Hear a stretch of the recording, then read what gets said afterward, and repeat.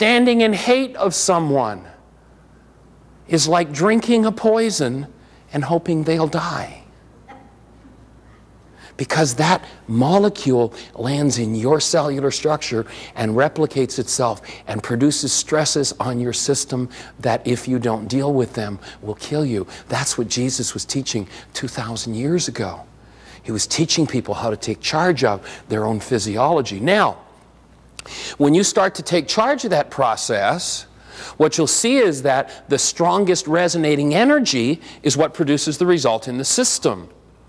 How is it? We've all heard of the fellow who went to the doctor, had a totally clean bill of health, and six months later got sick. They took him into the hospital, did an exploratory, sewed him up, sent him home, said, too filled with cancer, we can't do anything, you're going to die. And three days later, he was dead.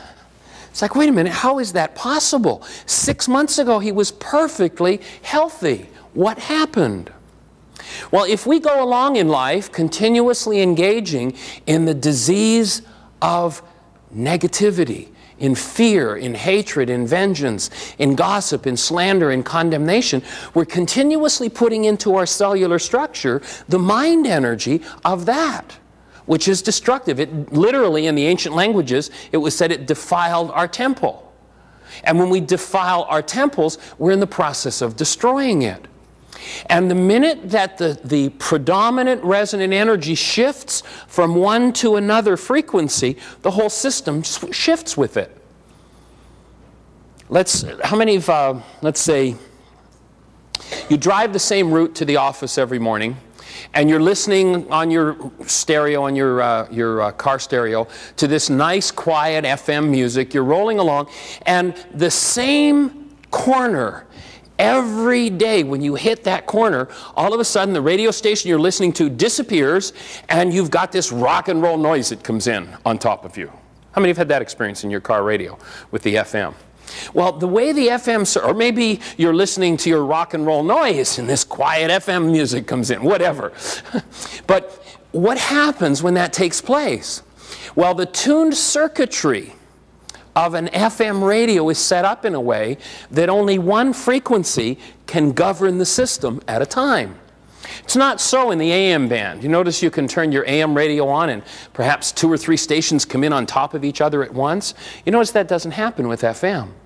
The circuitry's tuned so that you've got to have a certain percentage of signal strength and that station locks in and runs the whole system. Well, in exactly the same way as if you're driving away from the station you're listening to, and let's say it takes 51% signal strength, if you go from 51 to 50 to 49, and you're driving into the field of a new station, and it goes from 49 to 50 to 51, all of a sudden, it switches stations.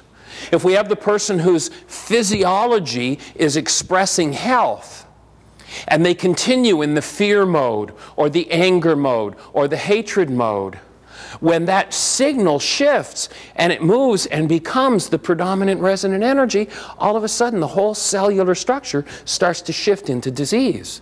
That's how someone can bring about a disease process that quickly. And so it's the focused energy.